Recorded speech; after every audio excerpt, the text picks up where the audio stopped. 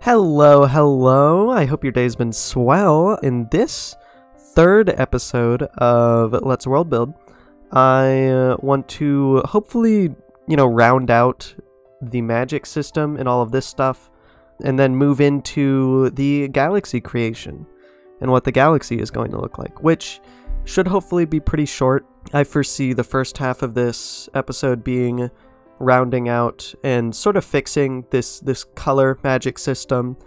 And then the second half being all about the the galaxy which I foresee most of that being dedicated to explaining the template itself because you know there's not really a huge amount that I that I foresee with with planning the galaxy. Galaxies are pretty basic a lot of times First, I want to uh, let me grab this over, this notes document over. So between episodes and while I was even editing the the previous episode, I realized that there were some things that I wanted to rework and some problems because, you know, as with everything, the first time you go through something, it's never going to be perfect. So having another look back on it is always good. A couple of smaller things first here. Well, actually, this might be worth doing first because it's really fast. So if we go in here, where is it?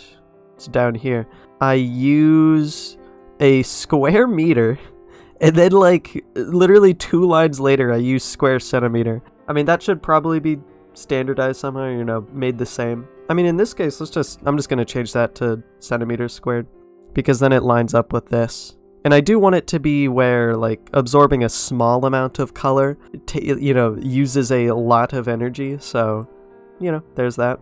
And then there's also the release system. And this is something that I was thinking about, and I was like, like, I originally wanted it to be this way, but then when I was recording the episode, I forgot about that for some reason, and then I thought of a completely different system. What I came up with in the end was this system where when you're releasing the color energy, it flashes on your skin as like a glow and then fades away. Originally, what I was thinking is this.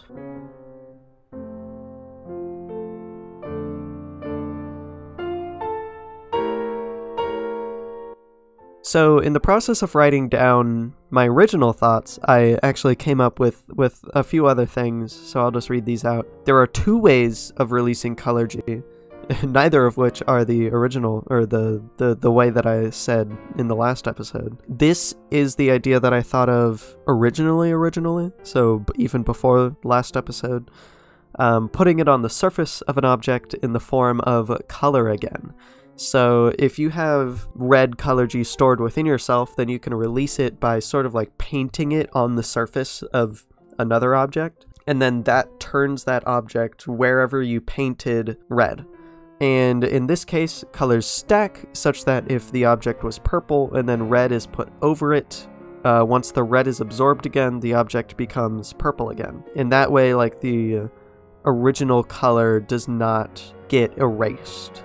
I might retcon this later because I'm still unsure if I if I want it, but for now this seems fine. Tell me your thoughts about it in, in the comments. As with, you know, everything else that I type here, please be putting your critiques and ideas in the comments. I, I would really love to read those. Storing within an object um, is another option. I had typed this above in, in here. I deleted the bullet point because it's, you know, it's, it's here now. This would make the object glow that color and does not affect the surface color. You can absorb color G out of the object and you can also absorb the color itself. And this way, you can have a really powerful magical object because you can only have a limited amount of color on the surface because there's there's only so much surface area. But this way you can basically put feasibly infinite amount of color G into an object, and it just makes it really cold, but it's still, like, you can do that. And here's an interesting thought, which is what if the object is broken? If the object is then broken, the color G is. And do I want it to be destroyed or stored in the shards? That's the question that I'm grappling with right now. I think it being stored in the shards makes more sense because it preserves uh, conservation of energy. You know, energy can't just be destroyed wholesale just because the object is broken. I think that makes sense. That is those two figured out. So I can get rid of those. And now this. This is the the, the big one here um, that'll take some time. So what I realized was that emotion abilities don't really make much sense for like worms and other lower intelligence beings. Because like how uh, worms don't really have memory or i don't really think they do. Um, and they also wouldn't really have any use for creating new memories. And as for like the the second sentence or third sentence. Uh, as for this sentence, I I decided that I wanted to keep it so that non-intelligent beings can still use this magic. What what I've coagulated on is that I want these more complex mixes to be for like intelligent beings can use these and then these just like primary colors are very basic like physical things that enhance how the like the physical body works and stuff like that. Like emotion doesn't really have a place here anymore as it, as you know memory also doesn't. So I'm actually just going to move those. Heightened emotion can be green. And this is fairly arbitrary. It doesn't really matter. Actually, I'm sort of thinking that purple can be the memory one. My reasoning for this is basically nothing because it, I don't know, it's just a vibe. I just feel like purple feels more memory y. And I'm thinking, even though it's a pretty powerful thing, I want slowing aging to be in the more basic ones. And I also forgot to put a caveat for this one. And this caveat would basically neutralize this anyways. What I'm thinking is that red slows aging, but it makes you weaker so you'll be able to live for longer, but your quality of life wouldn't be especially good since if you have a lot of red in you, then you wouldn't even really be able to walk very well, which is not the funnest thing in the world. So it's a it's a trade between quality of life and how long you're living. And so really I just need to think of two more colors. The reason why I'm settling on only two more colors and one more combination or one more mix is because, well, functionally, it has to stop somewhere. Because if you're saying that if you mix two colors, then it makes like a brand new ability, and you're able to keep doing this into infinity, then you're going to have an infinite number of abilities, which is just functionally not really useful. And it would be obviously really hard to think of. So what I'm thinking is that this base number of like six abilities, that's already a pretty good amount of abilities, in my opinion. And of course, I can retcon this later, or if y'all think that I should do something else. I think this is this is pretty good, and it's it's also just efficient for time because otherwise I would be doing magic for like five episodes. And I do legitimately want to move on to the actual like world creation part because admittedly that's one of my more favorite parts of this. Let me just edit this phrase a bit.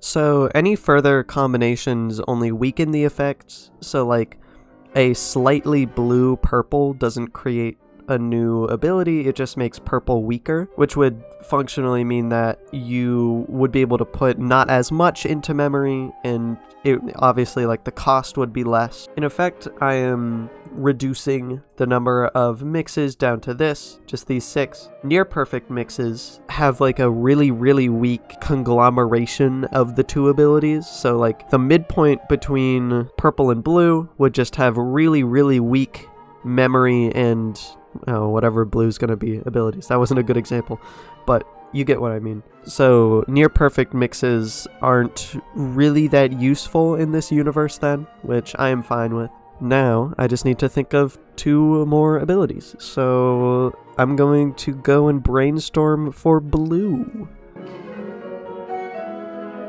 So, what I've thought of is that blue increases durability but makes it harder to move you know, turtles can't really move that fast, but they're pretty dang durable, so I think that makes sense. And so these are the three, like, physical attributes that you can do. You can absorb different amounts of each of these colors separately to mix the abilities. And because of this, the most effect that you would get out of absorbing a color is when that color is like the purest yellow or the purest blue and the most saturated. Which actually makes me think that saturation should also be mentioned somewhere because if you have a gray thing that's very slightly red, you're obviously going to get less effect from that. So I'm going to put it right here.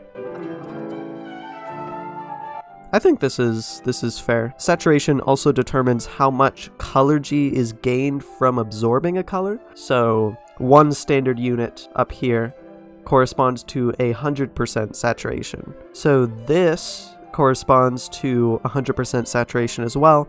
So the less saturation there is, the less energy it takes to absorb, sort of thing. As like a direct relationship. Alrighty. Uh, and now I just have one more color left to think of to brainstorm up. So I'm gonna do that now. So this took a little bit of time to think of, but I finally got around to it. Orange allows for astral projection, which if you're not sure what that is, it is that the mind can leave the body and observe things potentially very far away. And I want it so that the more orange that you have absorbed, the farther away that one can go from their body. And in fact, I should specify that. Um, this state is optional, which is actually very... This might actually be the only one that can do... Or no. This one is also optional. So unlike these, which take effect the moment that you absorb the color. This one, once you absorb it, you don't have to constantly be in a state of astral projection. You can choose when to like switch it on and off, sort of thing. But the cold from having the color energy inside of you is always present. So at the cost of always being ready to do this, your body's going to be colder. And also the the caveat is sort of like a I mean it, it goes along with astral projection in general, which is that when it's active, the physical body is helpless and vulnerable. So whenever you're astral projecting, someone can just walk over to you and just like stab you with a knife, and that's it. So you have to be careful with this. You have to make sure that you're in a safe spot. And I want to clarify here that this ability is also optional, so when you have purple absorbed, you aren't just constantly making more memories at a higher rate or something like that. It's something that you have to consciously decide to do, which is also partially why these two things are specifically only usable by intelligent beings. So yeah, you know, they have to put that conscious effort into doing them. I also want to add something to purple, which is that so which memory is destroyed is determined by random chance, though the memories slash knowledge that are the least used are more likely to be chosen. So if you don't use this ability very often, then there might not be that much of a drawback to it, so, you know, maybe you forget, like, song lyric. But if you use this a lot, just like law of large numbers, it will rewrite your memories, sort of thing. So you have to be careful with this. The, the randomness makes it so that you can't choose which memories to discard. And it's also not just a flat, whichever memory is the least used, because then all of the non important stuff is going to be discarded, which sort of makes the ability or makes the drawback moot. And I also might change this conversion rate, but we'll see. And yeah, I mean, this rounds out color energy pretty well. I mean, all the rest of this stuff can't really get to yet, since there are no intelligent beings to have it. So, Kalia, it's time to get into something new. Oh boy, let's go. I gotta get to the first notable place that I'm going to add in this universe, which is a galaxy. Here's the first problem that I that I come to, which is that I don't know what to name this galaxy. Um, but I also don't just want to name it Galaxy K or something like that. So I'm going to come up with a temporary name for now. I don't know, the main galaxy. Why not? I don't know what else to name this thing. So I'm just going to create that. I want to open it in a new tab because that's easier. I'm just going to drag this up to where it needs to go, which is right there. So here we have the main galaxy. I'm just going to grab... Uh, didn't mean to do that. I'm just going to grab this galaxy template, copy all of that, all of that good stuff, paste it in here, edit these tags a bit. And while I don't have a name for this galaxy yet, I'm just going to wait to put the tag that has the galaxy's name on it, um, since it's obviously not going to be forever called the main galaxy. This is in fact the main galaxy of Universe K. That's a very straightforward thing. And before I actually get into any of this stuff, I want to first show y'all like uh, uh, a, a what I'm going for. I have a very specific galaxy shape in mind. So I'm just going to find an image for this real quick. All right. So let's see. This style of spiral galaxy looks pretty cool, but it's not specifically what I want to make here.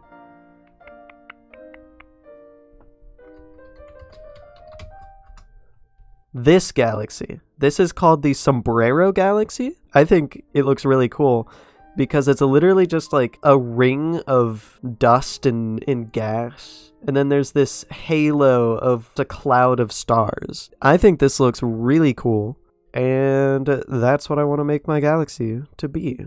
So yeah, um, I hope that that gives you a good idea of what I'm going for here. So let's get into it. General section is pretty basic for now, since a lot of this stuff can't be filled out yet, just like always, I guess.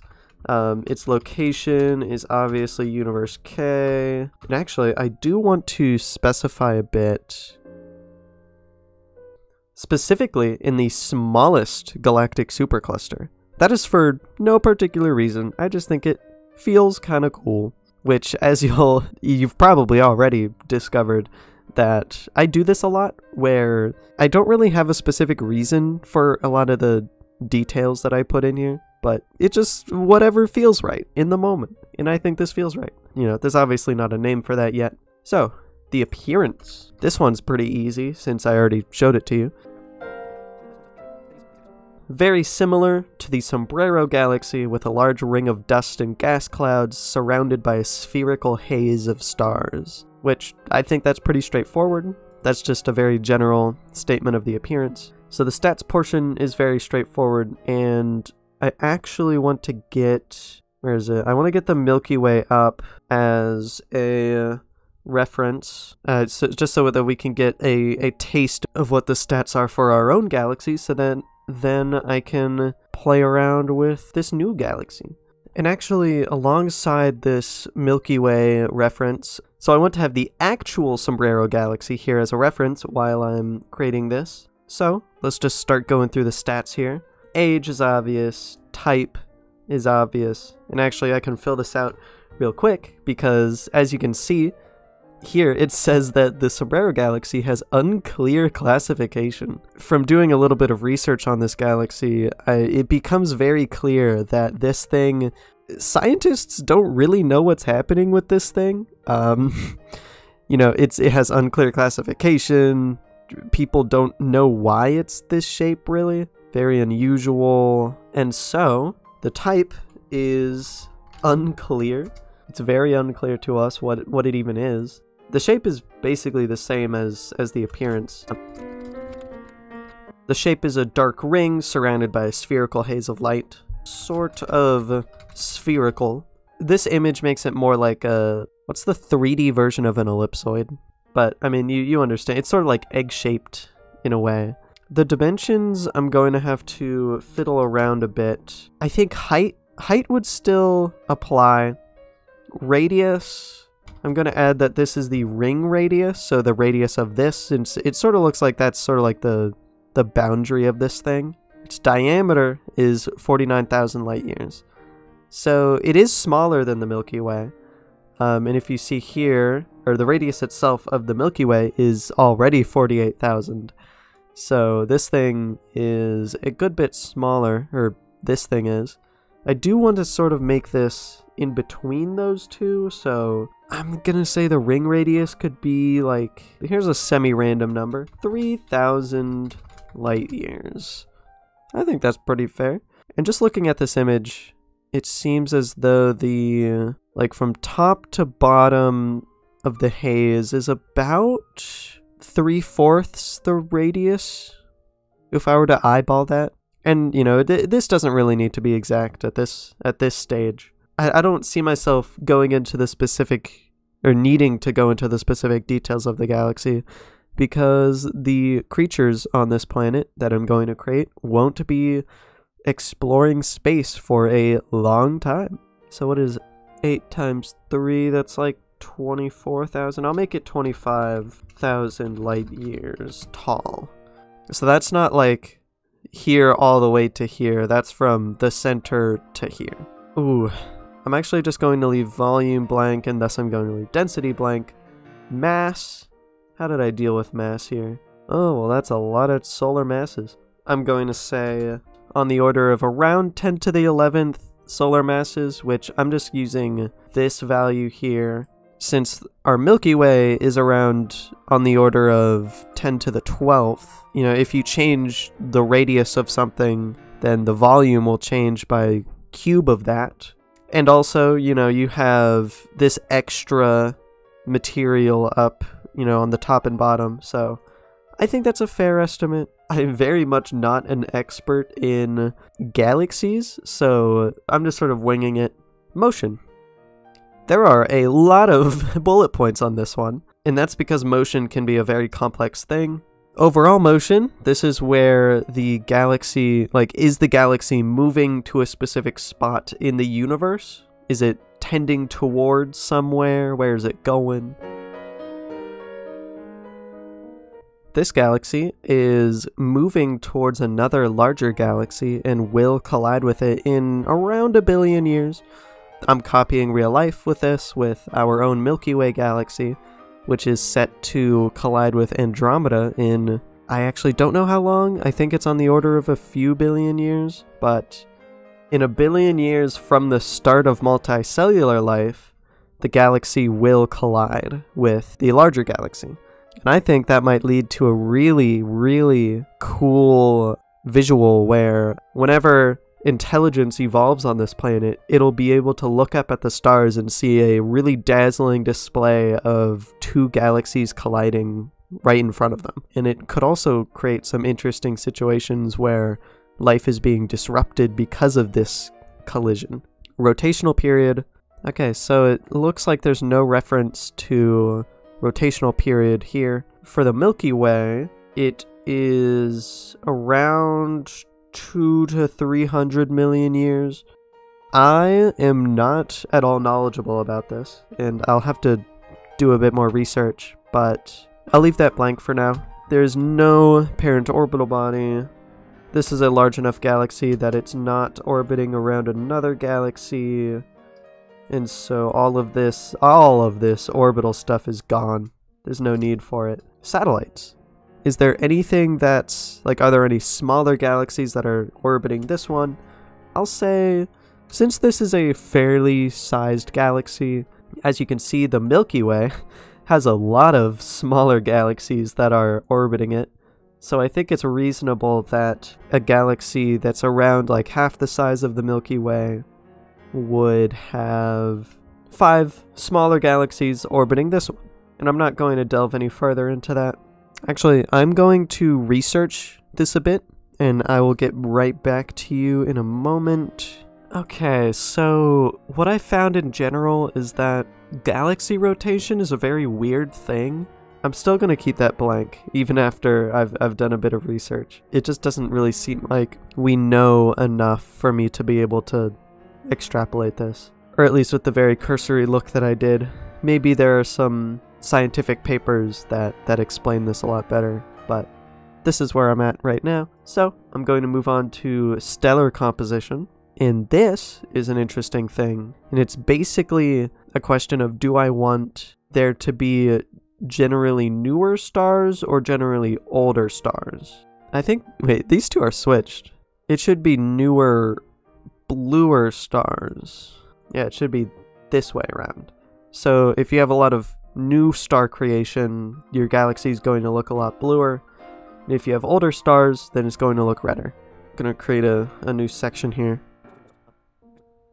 So I'm going to say that there's a general tendency to have older stars in this galaxy. And that's just because, like, with the actual Sombrero Galaxy, as you can see, it's not especially blue. I read in this part that the nucleus itself isn't really creating a lot of new stars, which will not lead to very many young stars. And I don't know if that can be extrapolated to the entire galaxy, but and I think that the core of a galaxy typically has more star formation than the rest of the galaxy since there's more activity going on there, stuff like that.